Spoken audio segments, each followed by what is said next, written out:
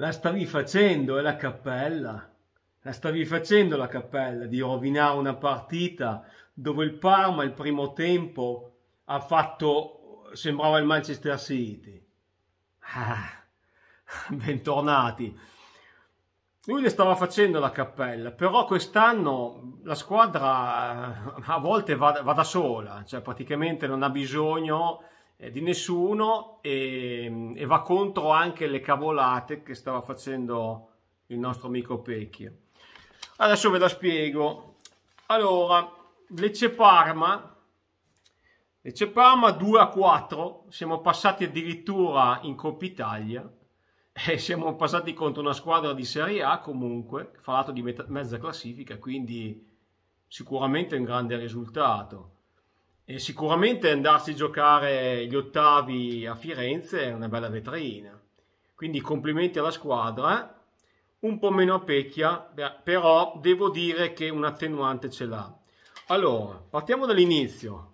Parma, il Parma che eh, parte, velo eh, parte, veloce con un grandissimo pressing, bellissimo il primo tempo. Primo tempo con un, uh, al nono minuto al nono minuto Somma che porta subito in vantaggio il Parma con un, un Eino eh, che anche lui di, di, eh, fa vedere l'attaccamento alla squadra eh, Eino che comunque sotto il profilo della, della cattiveria agonistica è sempre stato un buon giocatore, se non ottimo, dopo vabbè tecnicamente è un'altra cosa, però Eino strappa un pallone sulla fascia di destra difensore del Lecce ehm, mette in mezzo, la palla finisce fuori area dove Som tira di prima con intelligenza di piattone, la mette sul primo palo e gol. Gol del Parma dell'1-0. Dopodiché abbiamo Koulibaly al diciottesimo che si invola eh, tipo cost to cost dopo un doppio dribbling alla fine sul più bello però purtroppo non, non, ha la gran fama dell'attaccante, infatti cerca addirittura di superare il portiere, cosa che poteva tirare direttamente da subito e buttarla in rete. E vabbè, niente, ha voluto dribblare anche il portiere, alla fine si è fatto recuperare dal difensore scivolata, peccato perché eh, poteva andare meglio. Eh, al ventottesimo, capolavoro di Bonni, capolavoro di Bonni perché è una palla scodellata in area, la difesa la butta fuori alla bene meglio, arriva al limite dell'area Bonni che subito, senza pensarci un secondo, di intelligentemente, men, intelligentemente, anche lui di piattone la va a buttare all'incrocio dei pali. E quindi gol capolavoro di Bonni e 2-0 per il Parma.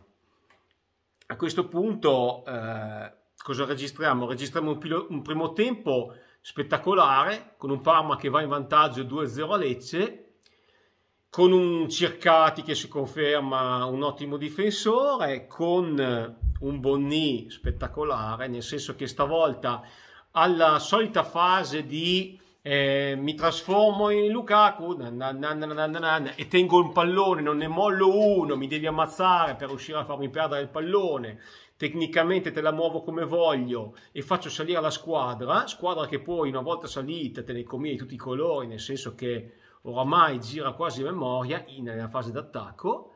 Cosa succede? Succede che dopo tutto questo bello, eh, succede che Pecchia, eccolo qua, Pecchia decide, decide che Bonni se lo vuole tenere buono per la partita col Suttirolo in casa e che eh, tra pochi giorni e, e niente, mh, mm, imminente e quindi decide che Bonni deve scendere. Quindi farà solo un tempo Bonni e cambia tutto. Eh, cambia tutto perché? Perché quel ragazzo qua, quel ragazzo qua, Bonni, eh, il problema è che anche se non fa gol è fondamentale. È fondamentale anche lui giallo-blu, con le luci gialle e blu. Questo ragazzo, ragazzone qua è fondamentale perché? Perché anche se non segna, praticamente fa sì che l'attacco del Parma resti inchiodato dove lui riceve il pallone e possa ricevere i palloni e cominciare l'azione d'attacco. Cosa che poi non succede più.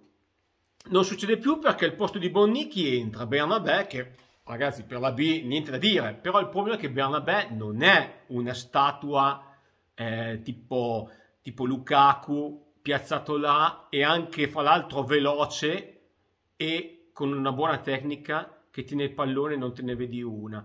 No, non è così. Bernabé eh, fisicamente non è Bonni.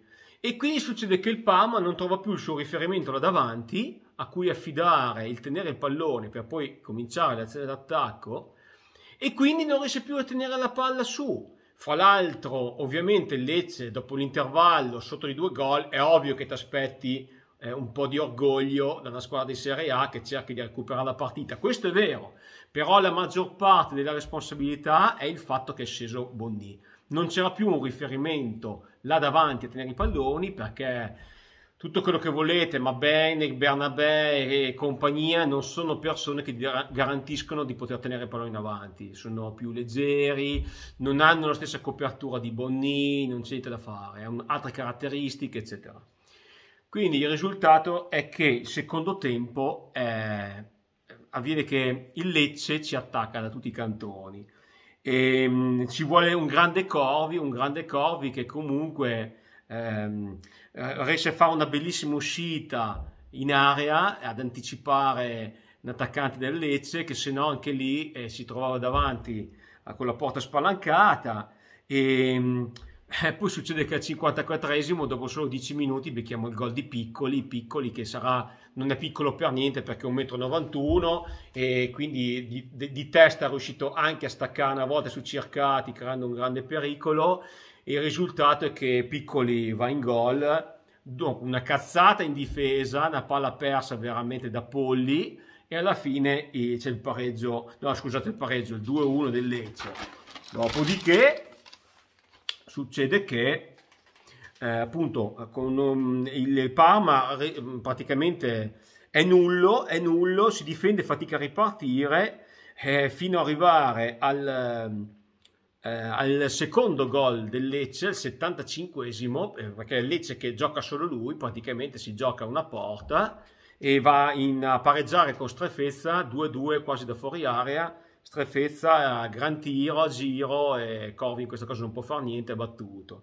Dopo solo due minuti dobbiamo ringraziare Corvi ancora perché, perché eh, paratona di Corvi, credo su piccoli, anche non sono, sono sicuro ancora, credo di sì, su un tiro ravvicinatissimo davanti alla porta, la becca di piede ci salva, ci salva il culo a noi, ma soprattutto a Pecchia e, ehm, perché sennò era 3-2 quindi ci salva restiamo sul 2-2 e a questo punto a questo punto finalmente entra Charpentier l'ha capita devo dire che Pecchia a questo punto l'ha capita. Pecchia la capisce al 78esimo capisce che devi far sì che la squadra possa rimanere là davanti e gestire il pallone. Finalmente con Charpentier questa cosa comincia a avvenire. Il Parma si comincia a risvegliare e a giocare anche lui.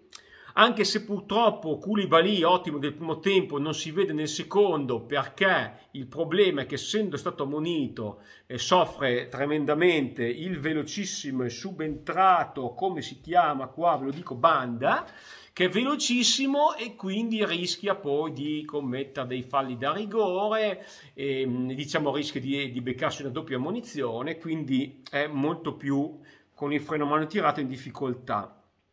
Ma, ma, ecco qua cosa succede, che il nostro amico Pecchia, dal possibile sconfitta dopo essere stato 2-0, succede che questa per... no, non questa persona qua, ma questa persona qua che è entrata, è entrato Dennis Mann, e Dennis Mann ovviamente cosa fa?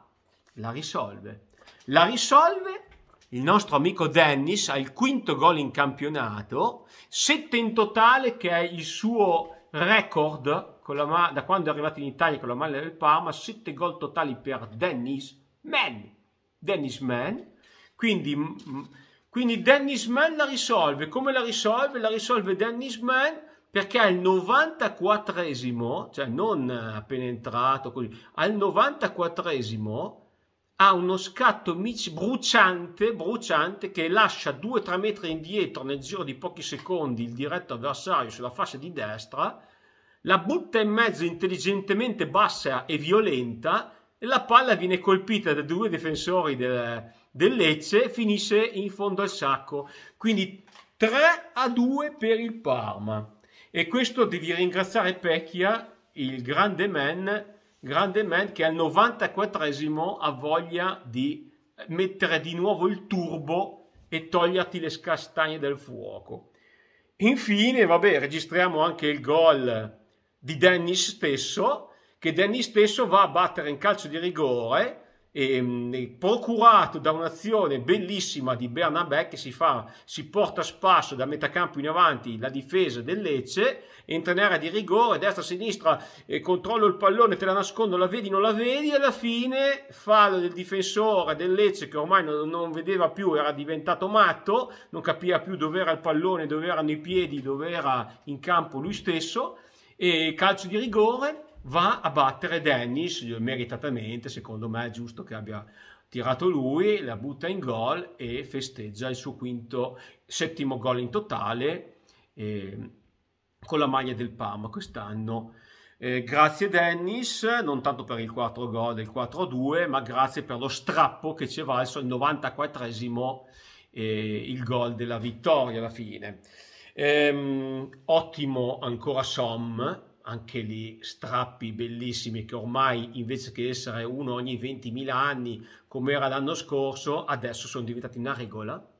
E quindi ragazzi c'è, c'è. Ino che si esalta ecco. Som che è diventato uno strappo partita. Dennis Mann è diventato eh, praticamente un mini Messi. Ehm Lukaku, ehm, Lukaku Bonni eh, boh che dire, non, non, so più che dire, ha cercato è diventato Cannavaro, boh niente, ci resta Osorio che finalmente siamo fortunati che sia infortunato, eh, non è che voglio che sia infortunato grave, ma è infortunato e quindi fortunatamente non lo avremo nella partita prossima dove affronteremo in casa del Sud Tirol e questo è un vantaggio eh, quindi niente, spiace per lui ma sinceramente io mi sono rotto le palle eh, di, del fatto che Pecchia deve per forza schierarlo come se fosse Baresi, Maldini o Cannavaro. Cannavaro ce l'abbiamo già eh, gli altri due eh, con questo qua non c'hanno niente a che fare. Quindi caro il mio Pecchia cerca di farti entrare nella testa che ehm, Osorio non è Maldini, neanche Baresi. Quindi siamo fortunati che eh, riusciamo a non vederlo in campo perché si è infortunato in questa partita e quindi abbiamo la fortuna che col Sud Tirol non ci sarà. Eh, niente ragazzi, quindi mm, chiudo dicendo, perché siamo andati lunghi, ma cioè, non riesco a dire due parole, non ci riesco, eh, anche se vado di fretta non ci riesco. Eh, niente, grandissima prestazione, primo tempo come il Parma sa fare e dovrebbe fare, secondo tempo rovinato da Pecchia perché ha fatto uscire Bonni, perché si è visto appena uscito Bonni, noi non siamo più riusciti a tenere un pallone, cosa che nel primo tempo praticamente eravamo solo noi a fare tutto, quindi eh, forse ti dico l'attenuante che ti do, caro il mio Pecchia, è il fatto che probabilmente... Gu allora, guai a te, adesso hai fatti vedere dove sei finito. Allora, guai a te sei fatto scendere. Guai a te sei fatto scendere Bonni e gli hai fatto fare solo mezza partita, rischiando di compromettere il miracolo qualificazione, tra virgolette miracolo, comunque la qualificazione bella contro il Lecce, se l'hai fatto scendere per poi non farlo giocare con il Sud Tirol, ah, attenzione, eh? cioè, stai attento, eh? e dopo ti platto in diretta, perché non si può. Quindi sei uscito per giocare con i Sud Tirol, non ti perdono totalmente perché rischiavamo veramente di andare a perdere una partita già vinta sul 2-0. Però se non lo fai giocare con il Sud Tirol stai attento molto, eh? Ok, buono. Eh, grazie Dennis che ci hai messo del tuo e oltre del tuo per, eh, facendo vedere che in questo momento ti senti il leader di questa squadra e anche se non ti senti lo sei in questo momento, anche se sei in buona compagnia perché anche lui non è da meno nemmeno cercati, nemmeno Sommer, il solito Esteves, però qualcuno sta facendo qualcosa che l'anno scorso non c'è, sarebbe stato impossibile vedere. E dico, mi dispiace per il Mudo, però Mudo eh, tu hai le tue responsabilità grossissime secondo me, perché secondo me a questo punto devo pensare che, che il tuo modo di giocare calamitava troppo e stavi anche sulle palle a tanti dei giocatori, tuoi ex compagni deve essere così perché non si spiega, è impossibile. Cioè, in così poco tempo non è successo niente, c'è stata solo un'estate in mezzo, sembra 4 o 5 giocatori importanti che adesso stanno facendo sfracelli, prima sembravano destinati a giocare a malapena in Serie C. L'unico che non è cambiato un cazzo è Osorio, che è sempre grammo come sempre, e quindi, vabbè, lui magari non c'è speranza o magari succederà prima o poi che fuori di giocare delle partite cioè, anch'io se andassi a giocare in Serie B, prima o poi imparo qualcosa, fare degli allenamenti con della gente molto più buona, prima o poi qualcosa ti insegneranno. Eh, boh, basta. Fine. Ragazzi, vi saluto, si è fatto tardi, video lunghissimo. Chi lo vuole ascoltare lo ascolti, chi non lo vuole ascoltare ascolti pure due minuti, fate quello che volete. Iscrivetevi al canale e buona serata a tutti. Ci si rivede dopo Parma su Tirol eh, attenzione a Casiraghi su 7 gol è veramente una mina vagante e quindi partita veramente da prendere con le pinze, non si può certo pensare di attaccare il Sud Tirol a sprombattuto, stiamo attenti, il Sud Tirol non è facile. E quindi la magia sia con voi e sempre con voi, forza Parma e grande mago, forza Sicco Mago, iscrivetevi, ciao!